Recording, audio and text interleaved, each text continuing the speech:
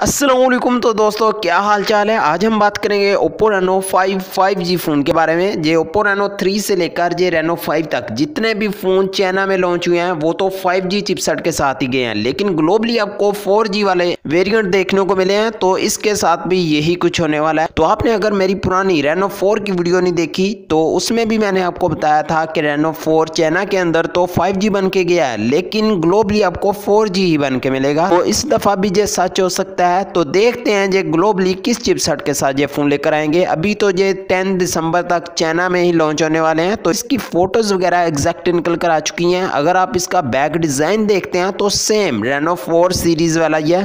तो कुछ भी चेंजेस ऑलमोस्ट इधर नहीं किए गए, इसके डिज़ाइन को छोड़कर। यानी कि जो बैक पे आपको डिज़ाइन मिलता है, वो रेनो ग्लो लिखा हुआ है और एक डिफरेंट कलर दे दिया गया है। डिज़ाइन जो कैमरे का है, वो सेम है। तीन वही बड़े बड़े कैमरे और साथ में एक छोटा सा कैमरा है है और एलईडी है। और फ्रंट पे आपको पंच ओली देखने को मिलता है। इसकी स्पेक्स देखें तो इधर सुपर एमोलेड का डिस्प्ले है और कर्व्ड डिस्प्ले होगा प्रो के अंदर और जो रेनो 5 होगा। और उसमें आपको फ्लैट डिस्प्ले देखने को मिलेगा। 1080 पिक्सल की फुल एचडी की रेजोल्यूशन होने वाली है और एल्यूमिनियम फ्रेम फ्रंट बैक पे कॉर्निंग ग्रीला ग्लास की सपोर्ट आपको मिल जाएगी। एंड्रॉयड टेन इस दफ़ा आपको इसमें आउट ऑफ़ द बॉक्स मिलने वाला है। स्नैपड्रैगन सेवन जी वाला चिपसेट मिलेगा इसमें, जो कि चाइना में तीनों फ़ोन के अंदर Reno three Reno four Reno five में आपको मिला देखने को, लेकिन ग्लोबली आपको इससे डिफरेंट देखने को मिल सकता है इस दफ़ा भी।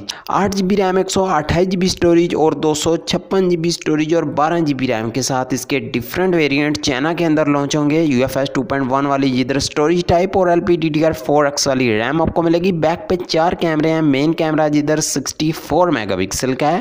टेलीफोटो लेंस इधर नहीं है, आठ का अल्ट्रा वाइड और टू का मैक्रो टू का डेप सेंसर नंबरिंग की गई है। इधर four K video thirty F तक मैक्सिमम रिकॉर्ड कर सकेंगे। फ्रंट पे 32 मेगापिक्सल की इसकी सेल्फी है टैप सी का ऑप्शन मिल जाता है यूएसबी 3.1 के साथ, जो कि थोड़ा फास्ट रहने वाली है। अगर आप ओटीजी या इस तरह डिफरेंट फ्लैश वगैरह इसकी पोर्ट के अंदर इस्तेमाल करते हैं तो फिंगरप्रिंट स्कैनर डिस्प्ले के अंदर ही आपको मिलेगा। जेरो सेंसर की सपोर्ट भी मिल जाएगी। चार हज़ार की बैटरी है और सिक्सटी वाट की फास्ट चार्जिंग है। तो ओवरऑल फ़ोन डिसेंट है। अगर इसी स्पेक्स के साथ ये ग्लोबली भी लेकर आए तो कमाल ही हो जाए, लेकिन ये करते तो नहीं है। अगर रेनो फोर और रेनो थ्री को देखा जाए तो देखते हैं रेनो फाइव के साथ ये क्या चक्कर करते हैं। पाकिस्तान और ग्लोबली आपको किस चिपसेट के साथ देखने को मिलेगा? उसको लेकर मैं काफ़ी ज़्यादा एक्साइटेड हूँ। अगर फाइव जी बन के आता है तो कमाल ही हो जाएगा। अंडर सेवेंटी या सिक्सटी थाउज़ेंड तक ये रहेगा तो। ये तो ग्लोबली आएगा, तभी पता चलेगा। और आने वाली वीडियोज़ में मैं आपको अपडेट भी कर दूँगा तो चैनल सब्सक्राइब करके बेल आइकन ज़रूर क्लिक करना।